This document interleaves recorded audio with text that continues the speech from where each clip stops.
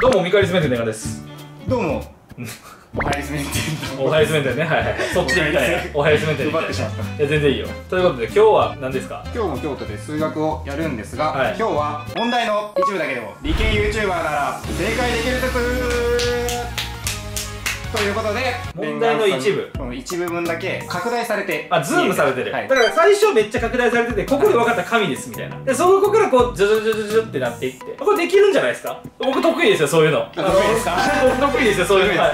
あのてかそういうのをなりわいにしてるんで だからこその深読みみたいな能力がついてちゃんと解かなくても答えは分かる。答えを予測できるみたいなのあるあそれはあるかもしれない。河野模試の時はほんまに答えの予測でめっちゃいったからね。余った時間で戻って検算するみたいなこともしてたから。あれすごかった。じゃあぶっちゃけうまくいきすぎたなと思ってて多分ここ答えこうやろなって思って書いたところが仮に全部×やったら175ぐらいなのよ。キムと同じぐらい本当に。まあ、多少上振れたみたいなところはだいぶ上振れてると思う。あれないです188は上振れてる。めちゃくちゃすごいです確かに175は取れてたと思う。多分そんなこともありつつ今日は特殊な数学ですか。らだからまあ逆に言うと河野模試も188取ってるんでそんなん一部伏せられても僕ら満点取れますよそれも。全問最初の画像だけで。いけると。いやそれでも河野模試嘘じゃなかったってことを証明しますこの企画で。じゃあやっていきますか。いきましょうはい。第1ヒント第2ヒント第3ヒントを出すのでだんだん見える範囲が増えていきます。なるほどなるほどなるほど。第一ヒントの中で答えたら点高いってことね。第1ヒントが10点とかにしますかね。第2ヒントが5第3が第3で3全部で1点。なるほど。全部見ても解けない可能性あります。その可能性ある一応これ数学の問題なんで。しかもあの俺今手元に紙とペンがないから。その暗算はまてかこれマジでこれ大前提さみんな忘れてるんやけど俺は何も言ってないけど暗算は課せられてるんよ。確かに。おかしいんよねおかしい。まあいいや。はいじゃあまず第1ヒントからいきますね、はい。第1ヒントこちらですやばすぎる。これで分かるやついんのこの問題ちょっと待って。でもさ0の横絶対数字あるよね。0の階乗がなわけないもん。1って書くもんねその時は。まあ仮にじゃあ10の階乗やと思いますわ。10の階乗が3の n 乗で何？割り切れる回数みたいなことかな。でもさ n の値によっても変わるよねみたいな。えでもさ割った余りの場合10の階乗を3の n 乗でとかになる気がするんよね。なるほど。だから、ガーって言ってるのがちょっとわからんねんな。何ガーって。てか、まずそもそも0の会場の横が1かどうかも怪しいから。まあでも50ぐらいまでな気がするけどな。これ当たったらすごいですよいや、これ当たったらやばいでしょ、これ当たったら、頭おかしいレールじゃないこれ。10点って言いましたけど実際50点ぐらいあるかもしれないいや、これマジえぐいな、ほんま。今でもね、ヒント出ましたよ。10点やけど、本当は50点ぐらいあるって、これは0の会場の横が5であることを示唆してます。50の会場で進めてみます。一旦、一旦ね。あ、これ問題が、50の会場が3の n 乗で割り切れる時の n の最大値を求めようだと思います。要は3で何回割り切れるかのことじゃないかなっていう。16たす5たす1で22なんですよ。N22! なるほど。N イコール22と。こはい、N イコール22です、これ。ちら大正解！マジで？正解です。じゃあリークついたやん。50やんやっぱり。リークしてしまった。リークついたやん。リークついて今マジ奇跡起きたよ今マジ奇跡起きた。え？ほんまたまたま50って言ったに。いや俺もいや何かにすがりたかっただけやから。問題こちらです。ほらほらほらさ最大値やんやっぱり。50の会場の5はマジでたまたま当たったんやけど割り切れるって表現を使う時は「が」使うなっていうまずこの確信があったんやけど、うん。で3の N 乗は N によって割り切れるかどうか分かんないんですけど最大値だった場合は割り切れるわって話になった。うんうんだから N22 いや素晴らしい読みですね。これはもう。完璧すぎる。これもうマジ。ちょっと1問目から50点取ってしまいました。ね50点？本体これ大丈夫？これ今。50点取っちゃった。マジでこれ満点も取れる可能性出てきた。大体こういうのってさ不利やん。満点の、はい。はい。1問目終わったらなんか満点まだ残ってるからね。東京市で第2問いきますか。い。こういこういこういこう、はいいけるいける。第2問第1ヒント。こちらです。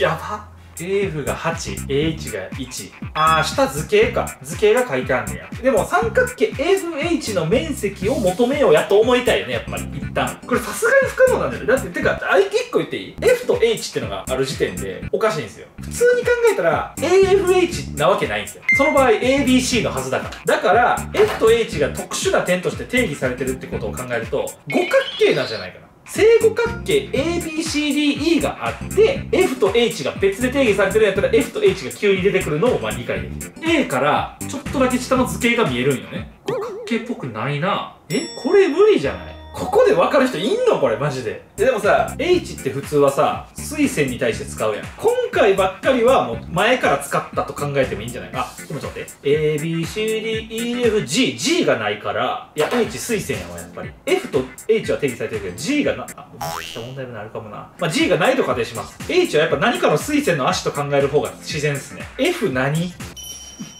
F どこ？まあちょっとわからんけど三角形 AFH は多分直角三角形なんですよ。多分ね。って考えると AH が18やったらここが3ルート7になるじゃあ2分の3ルート7じゃない？はい2分の3ルート7じゃあ。残念！さすがにね。これ無理でした。満点ならず。いや満点ならずもうで変えるか。続いて第2ヒント。次が5点です、はいはい。こちらです。あー10か10よね。ルート0って書いてるよね。あれはルート20はありえないんですよ。2ルート5って書くんで。だからルート10かルート30なんですよ、まあ、ルート10と考えるのが自然ですね。で三角形 AFH だ AF は多分このね細実線の長さやと思うね。で水線こう点々点が10やということですね多分。いやそんなわけないな。斜辺の長さが水線の長さより短いわけないわ。え？AF ってどこ？これだから何がルート10なの全くわからないけど。ああれも直角なんじゃない？太実線と細実線が直角に見えるんよね。ああだからあの細実線が AH の可能性あるな。水線2個とも引いたんじゃない？てか AFH どこ？どこ？ごめんなさいこれわかんないですね。この三角形 AFH の面積を求めるには余白が狭すぎる。これでいきます。フェルマーみたいな余白がちょっと狭いかな俺には。こちら残念。そらそうやろ。そらそうやろもうさ貯める意味ないやろ。続いて第3ヒント。平行四辺形合ってんちゃうかな。第3ヒントこちらです。あ立体？なるほど。うわーなるほど。なるほどね。なるほど。なるほどね。なるほど。わかりました。はい。もうこれ計算できます、はい。そういうことか。H 水線の足に騙されたな。なるほどね。あの細実線が AH やったよね。なるほどね なるほど。G は対角にあったんかいって話。ちなみになんですけど本来ここは暗算で解くべき問題ではないと思います。はい。いやでも暗算でできます。大丈夫です。大丈夫大丈夫。そこは大丈夫です。任せてください。受験生これ別に暗算で解く必要はないです、はいはい、大丈夫です。任せてください。任せてください。あの、はい。なら、4分の15ルート7やから、4かけて15ルート7。ま正解あ、それはもう問題分かればできますよ。暗算素晴らしいですね。問題が分かればできますよ。ちなみにあの全体像は G 分からん。これマジ無理これ。そこまで分からんかった。でもよくよく考えたら直方体の8個点があるから H まであるよねって選択肢がちょっと抜け落ちてた。今回は、えー、3点と。まだ53点あるから。俺53点あるから次の問題。今はい。さっきまでは段階的に見せてたんですけど、はい。ここからは連続的になるほど。パルス波から連続犯に。で連続波に変わりなるほどなるほど。はいはい分かりやすい。僕的には分かりやすい、はい。ここからは連続的はい。に微分可能な感じになってきます。滑らかな変化はい、滑らかな変化を楽しめる。はい、1分かけて拡大していくので、はい。えー、0秒で60点。絶対無理やろ。残り時間が点数になるってことね。あそうです。分かった段階で出してください、あ分かりました。はい。まあ、その時に止めるんでそこからは考えていいです。その画像を見て。あオッケーオッケーオッケーオッケー分かると思っただけで押せばいいよねあそうですあオッケーオッケーオッケーはい。では問題いきます、はい。問題はこちらです。いやいやちょっと待って。0秒の中絶対無理やろ これは分かってるやばいこれなかったらもう未来予知よね。よーいスタート。でも確率の問題っぽくない ?ABCD 何この問題？30秒経過。えマジで？はい。無理やろこんなお前問題は理解した。48秒で押しました。正解で12正点。解で12点。ですまあ、はい。ここ分かんなかったらこの先に進むって感じなるほど。いやでもこれ ここまでみんな分からんって絶対。今でやっと問題が推測できてるって感じ。多分この ABCD は1桁の正の整数なんですよ。だから D たす D が E になるんですよね。で E も1桁の整数のはずなんで0はねありなのかな。ないな0なしな気がする。こういう問題って1から9の9択な気がしますね。あで多分 ABCDE もそれぞれ違う数字な気がするこういう時って。D が1の時は12498なんかそれ以外にも解はないっていうのは言えてないんだけど。はい。A が 1B が 2C が 4D が 9E が8です。惜しい。えー、計算ミスの類ですか？いや違います。違うよね。多分問題が見えてないからゆえの回答になってますねじゃあじゃあじゃあ続き見るわ。じゃあ続き。よーい。スタート。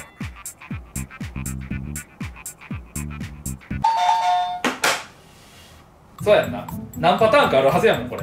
1249正解です。あーなるほど。その通りです。多分何パターンかあるんじゃない？これを満たすの。そうですね。同じ数字でもよかったら2499も成り立ちます多分。あなるほど。僕結局何点もらえるんですか？これ。10点ぐらい。念願さんが獲得した点数。はい。7.5点です。あ微妙残り7.5秒でしたね。俺これで50点3点7点が60.5点持ってるから。はい。たった3問で1問あたり20点取ってるから。もうほぼもう無双。最終問題。こちらも連続的にやっていこうと思います。はい。今現在目標60 60.5点60.5点。100点目指してるんで。あの20秒ぐらいで答えます。はい。最終問題。こちらです。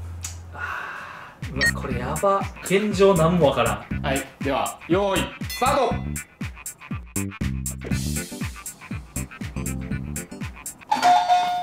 これ正解で40点です。よし。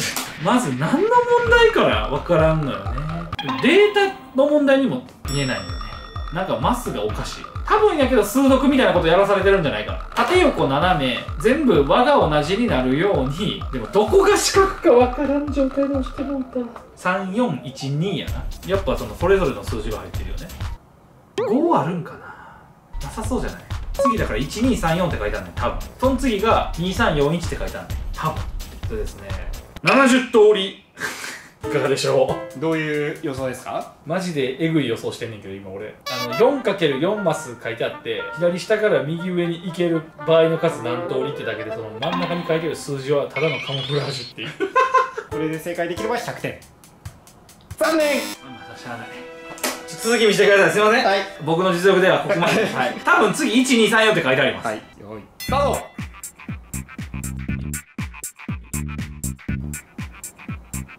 ああもう。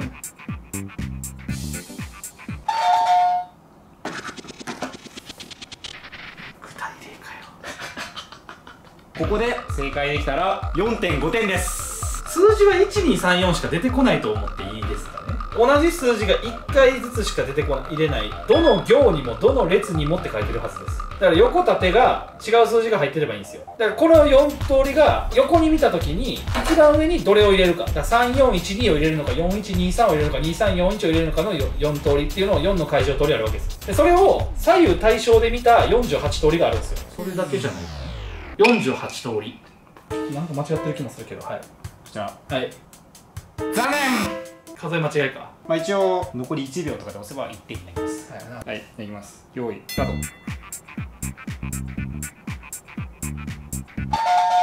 ここで正解で0.2点ですかね。